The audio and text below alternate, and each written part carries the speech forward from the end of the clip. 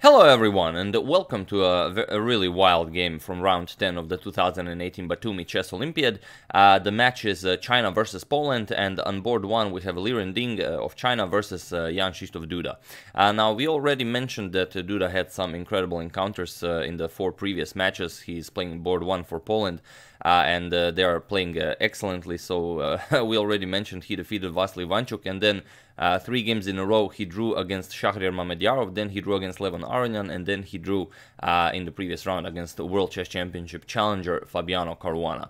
Now he faces uh, yet another member of the 2800 club, it's Liren Ding, and uh, it really uh, is a very impressive game. But we, before we go to the game, uh, I don't know how many of you are actually following what goes on in FIDE. FIDE has a new president. The new president of FIDE is Arkady Dvorkovich. There you have it. It's this gentleman.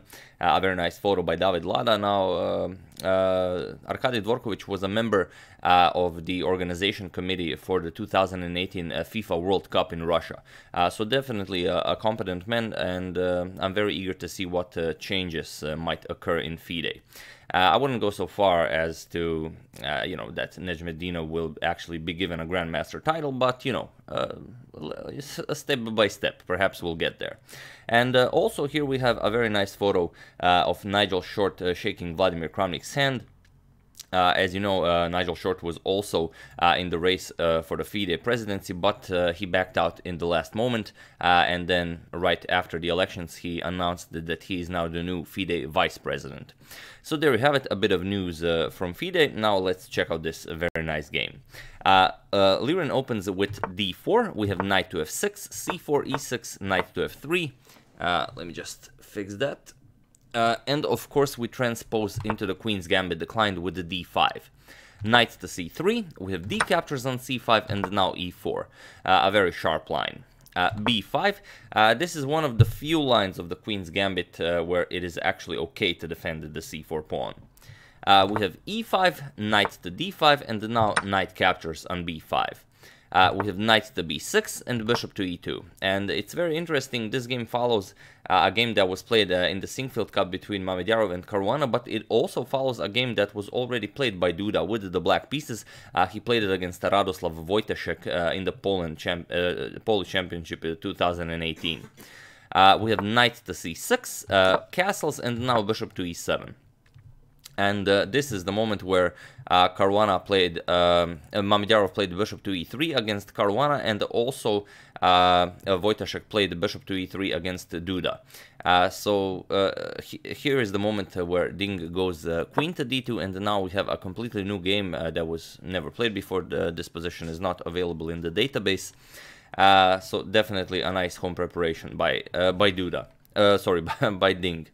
Uh, we have castles, uh, and now comes queen to f4. The difference between these, uh, this game and the game Wojtaszek Duda is that in that game this bishop was uh, developed to e3, then bishop was played to g5, then the bishops got exchanged, and only then did the queen come to f4. Here, uh, Ding has uh, different plans for this bishop on c1.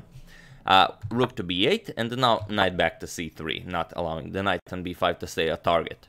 and now e5. e5 a very nice move uh, controlling the e4 square, not allowing ideas like knight to e4, but also um, uh, uh, pretty much inviting uh, this uh, en passant capture on f6. Uh, because now after rook captures, you attack the queen, queen has to move, and now knight to b4 uh, will be will be very annoying, and black would black would be doing great here. Perhaps even knight to d3 uh, with an idea of giving up the doubled c pawn, the the doubled pawn for the bishop pair would also be an idea. Uh, so after f5, uh, queen to g3 by Ding. And it's very interesting, um, uh, Ding really spent only a few seconds for every move. Uh, here we have king to h8, a very important move because uh, whatever your plan uh, is, this bishop to h6 will always be a possibility. Uh, for example, if you go for this sort of free pawn with knight captures on d4, uh, then knight captures on d4, queen captures, and now comes bishop to h6. And there's really nothing to play here, the threat is queen to g7 checkmate. Uh, you can't block with the rook, you, you'd have to play g6 and allow bishop captures rook because now bishop to h5 is an idea. And now g6 doesn't work because of uh, the simple bishop captures. h captures, queen captures, uh, and now it's all over. Uh, there's really nothing to play here. King goes here, queen captures, uh, white is completely winning here. Uh, so after queen to g3, first Duda goes for king to h8. Uh, rook to d1, now defending the d4 pawn, and now we have knight to b4, uh, with ideas of this knight coming to c2 or perhaps even d3. And here we have b3 by Ding, and this is in fact the strongest move. Now, uh, ideas like knight to d3 are pretty much pointless, simply b captures on c4, and this knight is just silly here. Knight captures on c1.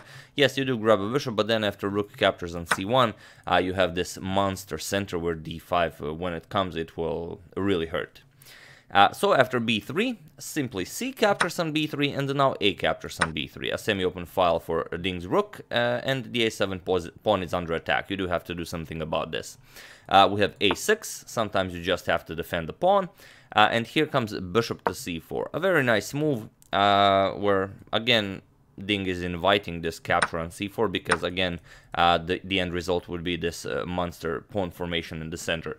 So after bishop to c4, we have knight to c2 with an attack on the rook. Uh, and here Ding plays uh, rook to a2. Knight back to b4 by Duda, rook to a1, and the knight to d2. With this move, uh, Duda uh, is pretty much offering a draw. Uh, if uh, Ding is willing to repeat moves, then we will have a draw by repetition. Uh, rook to a2 and again knight to b4. And now if uh, Ding repeats rook to a1 one more time, uh, it will indeed be uh, draw by a threefold repetition. So here Ding really uh, took his time uh, and he calculates a very nice idea. He plays rook to e2. we have a5 and now comes d5. A very nice idea.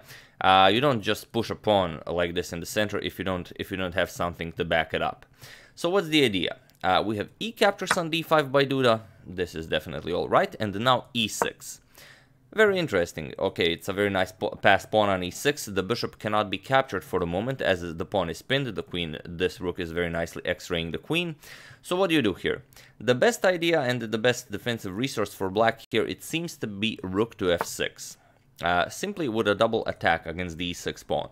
And now after knight to g5, uh, defending the pawn, now king to g8. You don't want to allow knight to f7 to come with check picking up the queen, or you would have to give up the rook, uh, but doesn't really matter. Uh, but now after knight to f7, you have queen to f8. Getting the queen out of the way, uh, the pawn is no longer pinned, so now pawn captures bishop is definitely uh, an idea. And after the bishop moves, now you capture the pawn, rook captures on e6, and black is better here.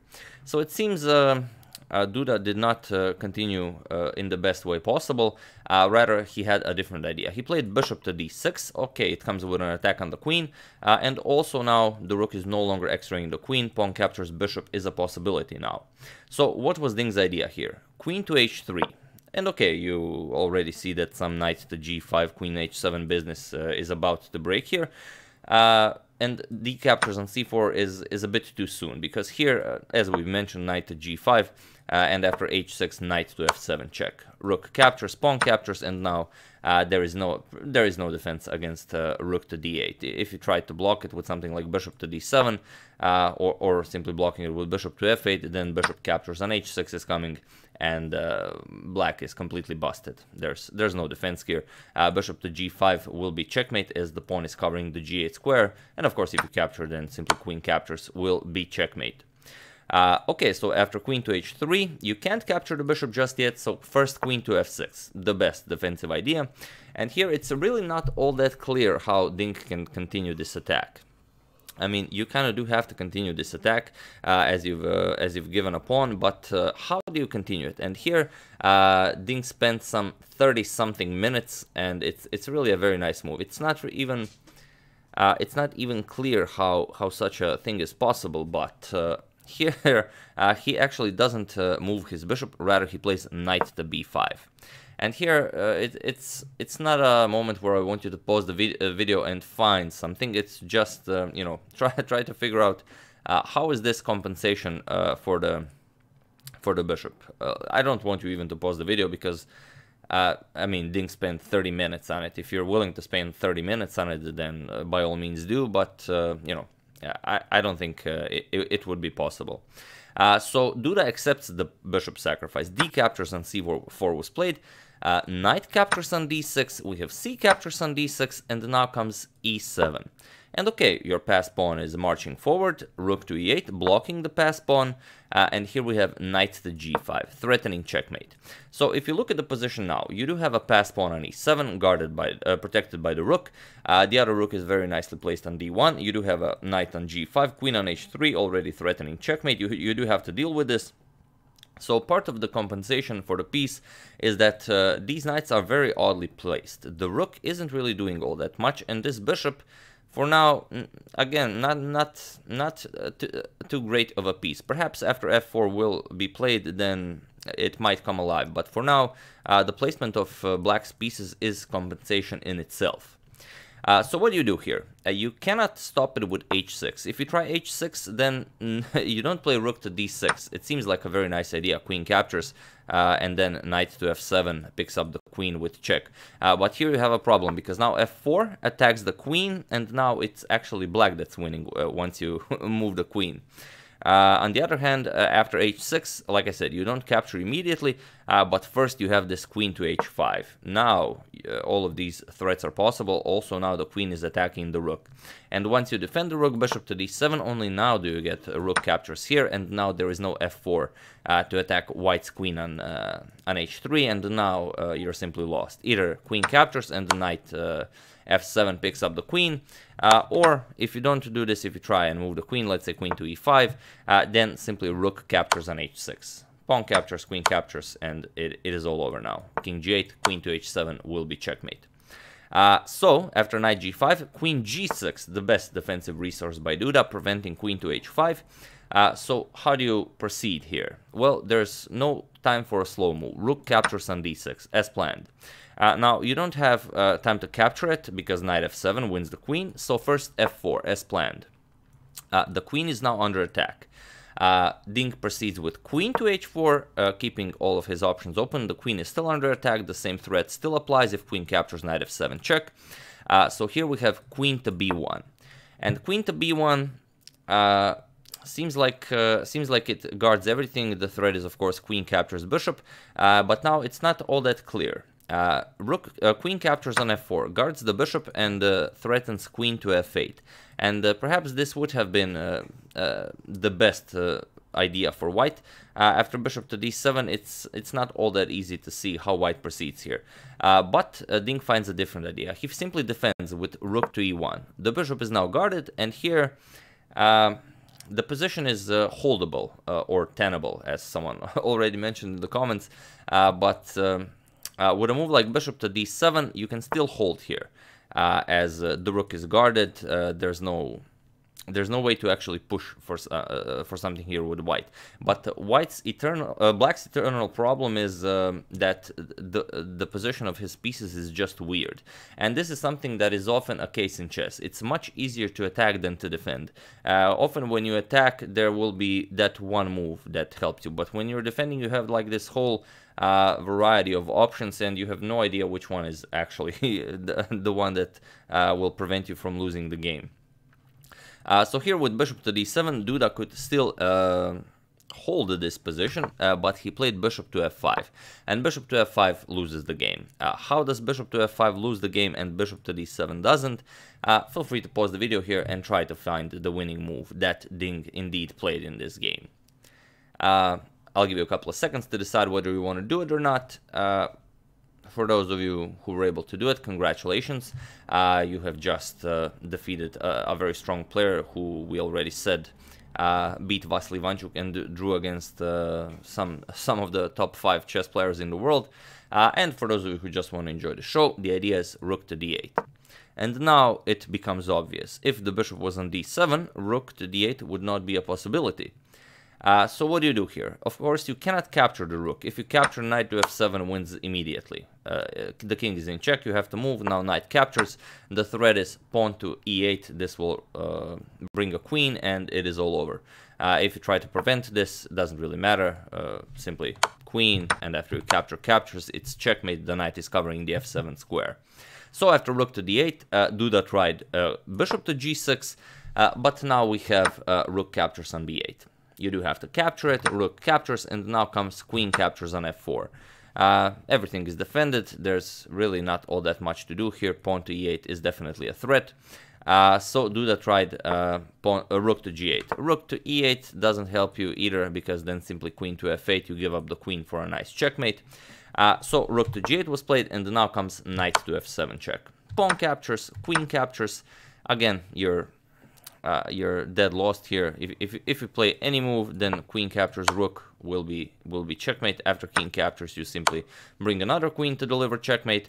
Uh, so that. tried knight to d7, trying to bring uh, the knight over to f6 to help out with the defense, uh, but it is much too late. Um, Duda would have probably given up already if it wasn't a team event, but you do have to try. Uh, we have another queen on the board, uh, and now knight to f6. It's very hard to imagine that uh, white could actually blunder the game here. Uh, it would have to be something like queen captures, knight captures, and then uh, threatening checkmate, where black would be allowed to play something like this and deliver checkmate. Uh, but of course, Ding Liren uh, is not undefeated for over 80 games uh, for, for uh, blundering uh, moves like this. Uh, here, simply bishop to g5 was played, and now on move 38, it was in this position that Jan Krzysztof Duda resigned the game. So there we have it, uh, a very nice win. There's really nothing to do here. His queen is under attack. Uh, the threat is uh, you're gonna capture this knight and then deliver checkmate and pretty much whatever you play. Even if you grab the queen, then rook captures queen. you are down a queen, simply losing. Uh, so yeah, after bishop to g5, uh, Duda resigned the game, and uh, yet another uh, game added to, to Ding Liren's undefeated streak, uh, which is now, uh, I'm not sure, I, um, I think it's around 85 games, so still not not close to Sergei Tiviakov's world record, but you know, it, the way he's playing, I think it's over, it's been over a year now since the last game he lost. Uh, but yeah, too bad for Jan Duda as he was having a, a, an excellent tournament, but uh, you know, Ding Ding is really doing uh, incredible stuff here, and uh, I don't know, I, I, can't even imagine how exciting uh, the next uh, candidate cycle will be. And just so I don't forget, these are the standings after round 10, so one more round to go in the 2018 Batumi Chess Olympiad. United States and China in first place uh, followed by Poland, uh, France, Russia, India, Armenia, Ukraine, Germany, Czech Republic, England, Kazakhstan, Vietnam, uh, Croatia, Norway in 15th, uh, Sweden, Moldova, Austria, Philippines, and Azerbaijan in 20, which is uh, pretty incredible as they were uh, as they were uh, you know uh, sharing first place just a few rounds ago. Uh, but that's chess for you. Anything can happen. So there we have it. Uh, united states of america and china tomorrow are deciding the winner of the olympiad. It will be uh, world chess championship challenger fabiano caruana against ding liren. So can can fabiano do something about this undefeated streak liren's been having for the past year or will it uh, will it be a bit different? And it's very interesting. Nakamura did not play today. Uh, uh, uh Ray Robson uh, was a substitute for him, and the United States won their today's match. So it will be very interesting if uh, Nakamura will be playing tomorrow against China. So there we have it, uh, a little uh, a little coverage uh, of the 2018 Batumi Chess Olympiad. I do hope you enjoyed it and that you have enjoyed this game. I certainly have. Uh, I would like to thank uh, David Rossi, uh, Kyle Repinski, Elad Zamir, Timothy J. Buxton, and John Farup for a contribution to my channel.